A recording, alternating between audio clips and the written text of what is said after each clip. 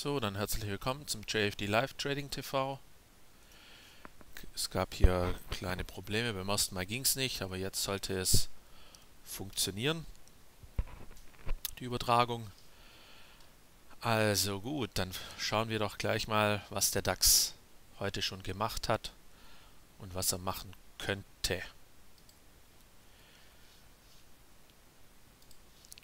Also auf die DAX-Liste zu sprechen. Ja, die RWE, die E.ON, die am Anfang der Woche sehr gut performt haben, liegen heute im unteren Feld oder ganz unten. Und eine Allianz, die eigentlich nie und nicht wirklich angesprungen ist, konnte heute die Spitze erklimmen. 2,5 Prozent, auch eine Henkel und eine Commerzbank. So, gerade eben war auch schon der Stundenchart offen. Der DAX hat heute wieder ein, ein Gap gerissen. Dank eben äh, Japan. Da konnte der Nikkei um 500, 600 Punkte zulegen über die Nacht. Und dadurch sind die schlechten Amazon-Zahlen in Vergessenheit geraten von den Future-Kursen her. Deswegen der Dow Future steht über 1% im Plus und auch der der Nasdaq Future, aber der ist ja, der Future würde ja, bei mir ist jedenfalls um 22.15 äh, Uhr wird da, beziehungsweise um 0 Uhr, dann Schlussstrich gezogen und das sehe ich jetzt nicht ganz genau, wie der Kurs äh, zum, zum 22 Uhr Bild da ist, aber ich glaube hier dürfte der Future jetzt 10, 15 Punkte über dem Schlusskurs dann sein. Also nicht so deutlich, weil halt natürlich noch die Amazon-Zahlen schwer wiegen. Aber jetzt zu, zurück zum, zum DAX. Hier konnte er sich jetzt wieder den über die Unterkante, Oberkante des Rainbows schieben. Und ja, wer jetzt hier kurzfristig unterwegs ist, könnte hier noch einen Long Trade wagen. Abwärtstrend ist hier der kurzfristige auch gebrochen. Da eben allerdings aber bis Mitte der Woche es im Prinzip die ganzen Setups so gut wie aufgingen.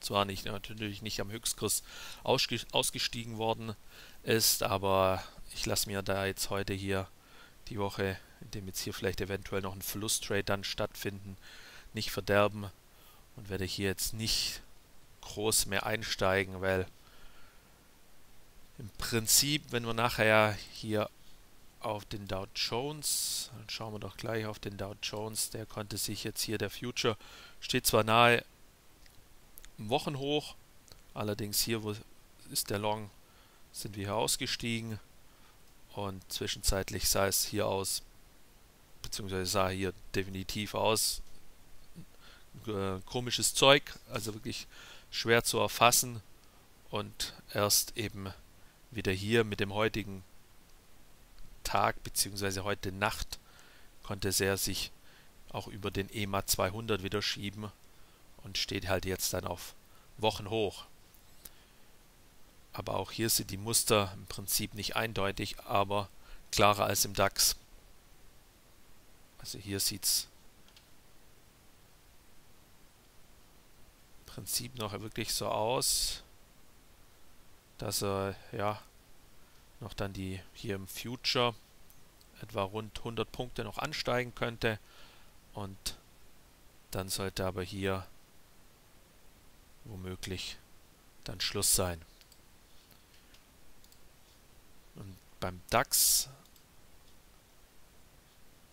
sieht man, dass er definitiv nicht an den Wochenhochs ist, also der ist wirklich schwach. Und konnte sich halt hier nur kurzfristig über die 9850 lösen.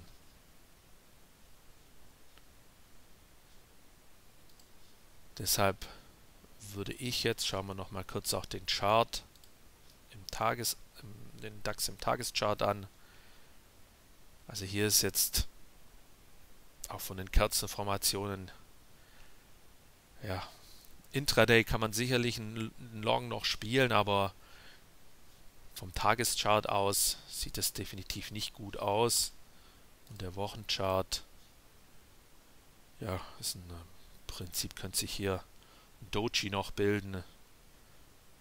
Also nicht wirklich was Berauschendes. Zu den anderen Setups. Zu Silber, dies der Silber, der Silberpreis ist wieder zu der Ausbruchsmarke zurückgekommen. Sollte sich jetzt auf jedenfalls definitiv hier kein Schlusskurs unter ja, 14, 15 äh, ergeben, dann wird das Bild also von dem Trendindikator Rainbow definitiv negativ werden und auch die Muster würden geben an sich jetzt nicht mehr ganz so viel her, dass es hier eine komplette Impulsbewegung wird, aber einen zweiten Up-Move könnte sich noch ergeben und dann womöglich nochmal ein Tief. Aber solange sich jetzt hier ist es jetzt im Prinzip trendbestätigend, erstmal noch Long, auch im Tageschart. Pfund gegen US-Dollar konnte heute noch mal ein kleines Hoch. Hier wurde gestern verkauft, knapp bei 1,44. Sonst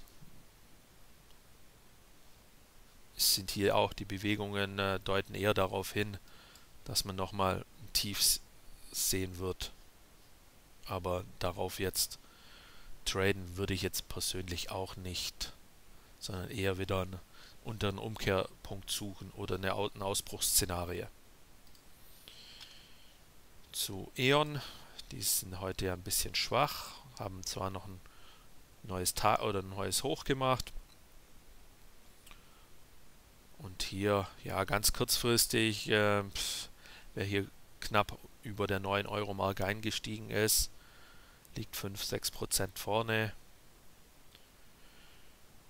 Kann man theoretisch auch mal kurz aussteigen und noch einen, einen tieferen Rücklauf, dann nochmal vielleicht eine Long-Position spielen, aber ich habe ja gestern erwähnt, hier bleibe ich Long und sollte den Markt, den DAX äh, outperformen können die nächsten Tage oder Wochen, solange er halt in dem Stopp nicht den Stopp reißen sollte. Deutsche Bank kann auch heute jetzt nichts Besonderes machen.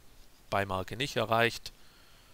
Und sonstige Setups. Ein, ein Setup, das war nicht ganz ein Setup, was ich halt äh, direkt hier komplett vorgestellt habe, sondern nur, dass hier die Euro gegenüber Yen sollte definitiv hier die 1,26er Marke verteidigen. Das hat er dann auch souverän gemacht und kommt jetzt heute hier an die Abwärtstrendlinie hin. Also gegen wer das jetzt auch gespielt hat, war jetzt nicht von mir ganz präferiert. Aber jedenfalls, solange das überhalb dieser Marke ist, eine, ein Retest dieser Abwärtstrendlinie. Also die erfolgte dann auch. Und mehr wird es höchstwahrscheinlich auch daraus jetzt erstmal nicht werden. Ein Rücklauf, vielleicht wieder an die 1,30er Marke und dann könnte es vielleicht dann hier durchgehen. Aber solange jetzt hier die Abwärtstrendlinie nicht gebrochen wird, kann es auch wieder Richtung 1, 8, äh, 128 gehen.